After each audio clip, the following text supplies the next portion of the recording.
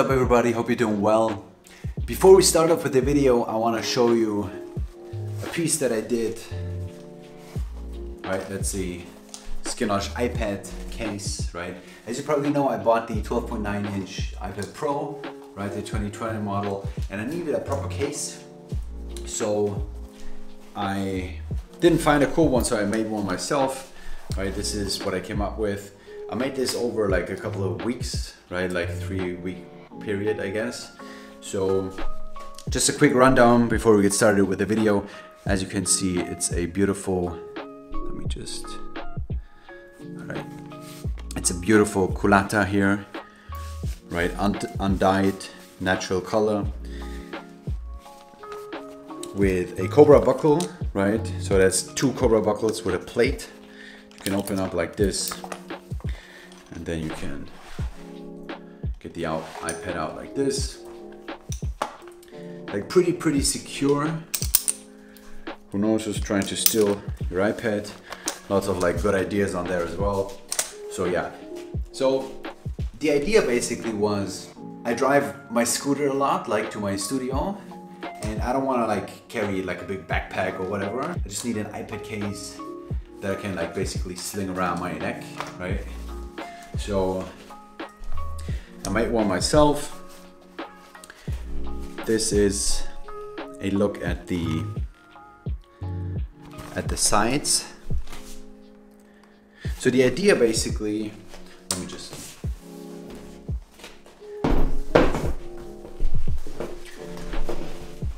So the idea basically for the sides, right? The idea for the sides was a stacked sole of a boot or a derby, right? So basically when you have like, I don't know, like a handcrafted pair of boots, right? This, the heel is basically stacked parts of leather, right? Like this. This is only a couple, but like depending on the height of, of the heel obviously. But yeah, different like layers of thick leather usually glued and then like hammered, right? And I don't know, like brands like CCP, they chose to expose each layer. Usually it's like cut pretty pretty well and then like sanded and like painted over so you don't see that it's like different layers of, of leather.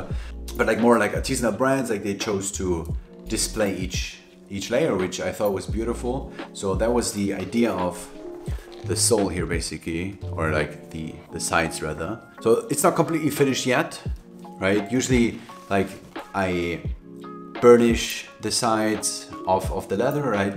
So in traditional like leather work, like quick digression, I guess, uh, usually like the in like traditional like artisanal bags, right, like high-end bags for women, like when you have like a leather bag, these sides are painted with edge coat, right? Like burnish and then painted with edge coat to basically seal the sides because the sides of the leather are like pretty receptive to water and rain and it kind of like damage basically the leather. So you always have to have some kind of like coating on top of the edges, right? So, but in avant-garde fashion, I guess, like people like they, or brands, they tend to like expose the raw edges, right? Which I do for Skinnosh as well, but I still put a coat on it to protect it. It's just clear so you don't see it. It looks like the, it's like the exposed edge of the leather, but it's just, it lasts longer when you basically coat it, right? So I haven't done that here yet because I still haven't figured out like what, what I want to put on there, but I will probably use like, do you know when like a seam tape, right? In clothing, it's basically a tape that is glued over the seam and it's usually like ironed and there's a seam tape in liquid form as well, right? Which is more, more used for like tents and like technical fabrics. But I'll probably use that on here just to seal it and it's clear so you probably won't see it, but it obviously protects it. Yeah, so I just quickly wanted to show you this sucker. Beautiful culatta here. All hand stitched, took me forever because it's so many layers of thick leather. And then, yeah, the strap is pretty cool as well. So this is Dyneema, which holds an insane amount of kilograms. Just this, this snap hook here alone holds 250 kilograms, right? So it will definitely hold my iPad. And then, yeah, this part is hand stitched as well as the shoulder padding, whatever it's called. And this is what the back, back looks like. And this is the front part, as you can see with the lovely like plate and then two Cobra buckles. Highest quality you can find. This will never be for sale because it took me forever to make it. And yeah, my fingers still hurt because it's obviously all hand stitched, right? It's not, I don't use any machines to stitch my stuff. So yeah, pretty happy with this. Anyway, that's it, enough. Today, we're here to talk about Suicoke, right? The idea was, think about like Suicoke if it's like still cool because they've been around forever. Not forever, but I don't know, when they were founded like in 2006, I guess, right? So 14 years. And yeah, it's a cool brand from Japan. I've always loved their aesthetic and the idea, right, of like high, high, high quality slides or slippers or sandals. And the question for today's video is if they're still cool in 2020 and my answer is no, they're not. Which is awesome, which is why I bought two pair. Right? And let me explain before we look at the pairs and how I style them and whatnot. I've had my eye on Suicoke sandals for a while now, especially like not the sandals, but like the slippers, I guess.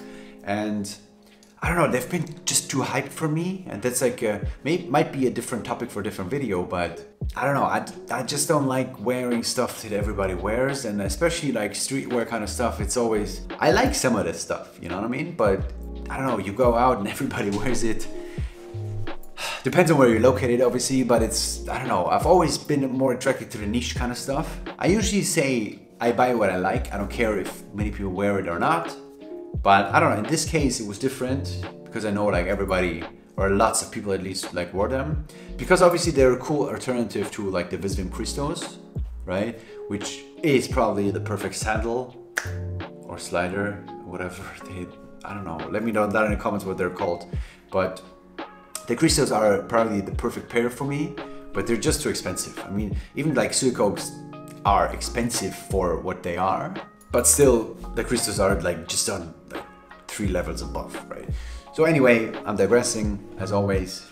So my feeling is that the trend has kind of like died down a bit, right? Which is like good for me, I guess, because like this year I felt like kind of makes sense for me to buy into the brand.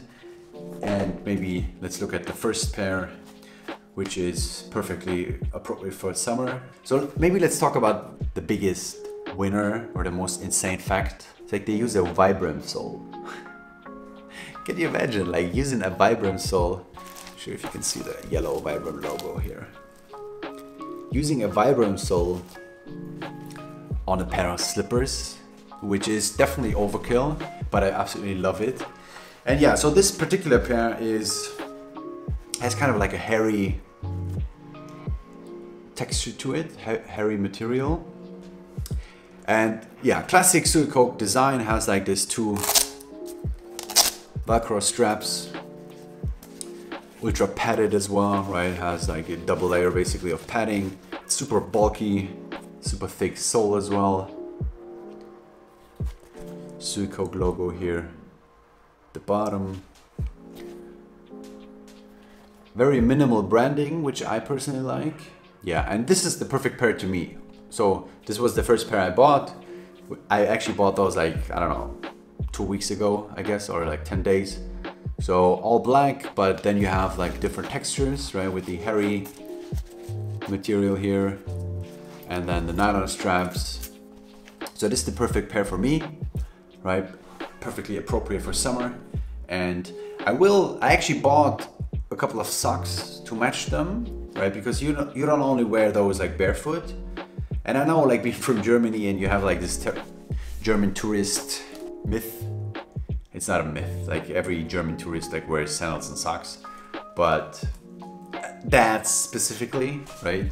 But anyways, I want to wear those with socks as well because like my goal with those was actually not to have like sandals and like wear them for summer, but to basically extend my bedroom or my living room to the outside, right?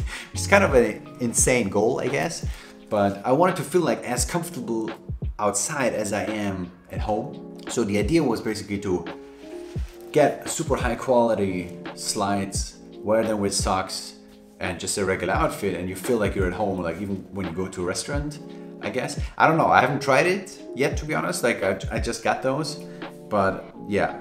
Most of you probably have Suicokes or looked at them before, so let me know that in the comments if that's an illusion or if that kind of makes sense, I guess. So the second pair that I got are surprisingly also hairy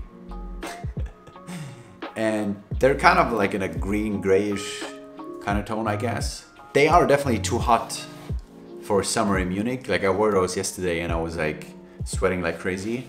But I guess they're more like more appropriate not necessarily for winter because it's snowing and you can wear those when it snows but when it's a bit colder and you have like thick wool socks I guess they're kind of cool. Yeah so same story. Vibram sole Vibram branding everywhere.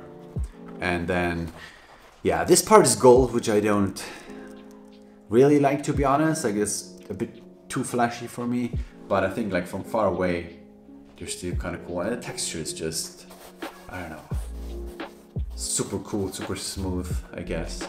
So those are the two pairs that I bought right? One which is more appropriate for like summer and then another pair which is more for like fall winter I guess or fall at least. Yeah I will style those later on in the video but one of the things that when I bought those I realized like how weak my sock game is. I think like most of our sock games are probably weak. I don't know because socks like they're never exposed right in my case. So I usually have like sports socks like 90% or 95% are Nike socks and the rest is like Salomon socks right? So I buy my socks like for running and then I just wear them regularly as well. But I never have like cool socks and it kind of like sucks to have, I don't know, this shoe on and I have like a Nike logo and then it says like left sock, right sock and whatnot. So you need kind of like proper socks. So what I did is I bought two pair of Kapital socks, right? So this is the first one that I got, just the bandana heel sock. I don't know what it's called.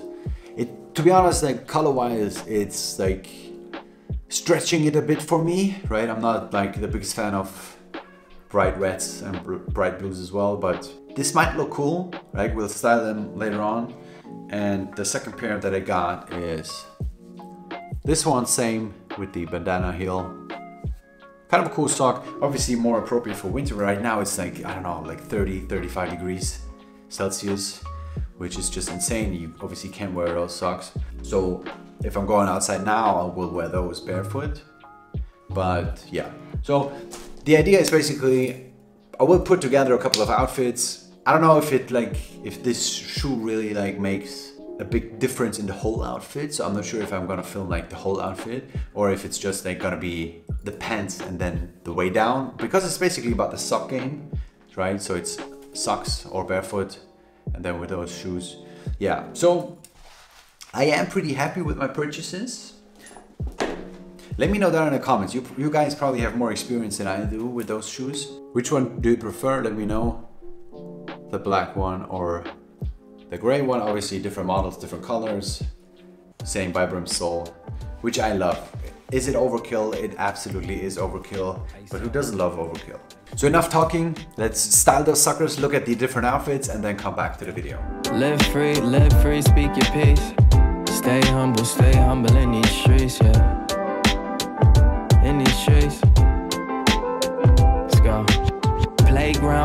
With the trees and the cars. Brownstone buildings with the kids on the porch. Murals on the walls for the ones that we lost. Bodegas on the corner, let me see what's in store. Subway stations with the maps and the cars. Summer cookouts, uncle got the sandals on. Statue of Liberty, we holding up the torch. If they ask where I'm from, tell them this is New York. We from the home of the biggie, people blowing they ciggies. And these girls going wild cause they flashing they titties. It's litty. Watch your steps cause these blocks be shitty. We grew up on that bad boy in 96 with Diddy. Take a walk, come with me. Let me show you what really go down. Fiends on the corner, every hood got a deli or crowns. Cops pull us over, it don't matter if you black or you brown. City never sleeps, this the place that where hip hop was found. Playground parks with the trees and the cars. Brownstone buildings with the kids on the porch. Murals on the walls for the ones that we lost. Bodegas on the corner, let me see what's in store. Subway stations with the maps and the cars. Summer cookouts, uncle got the sandals on. So guys, hope you enjoyed the video. Hope you liked the outfits. Let me know down in the comments which was your favorite outfit, which is your favorite pair of like slippers, sandals. I still don't know what to call them. Do you prefer like Visvims? Do you like Suicoke? Do you have them? Are they just a bit too like your face? I don't know. Let me know that in the comments. Thank you guys for watching. Hope you enjoyed the video, and I'll see you in the next one. Cheers. From JFK to LaGuardia, city that never sleeps, insomnia. Home of Junior Mafia, word. Playground parks with the trees and the cars. Brownstone buildings with the kids on the porch.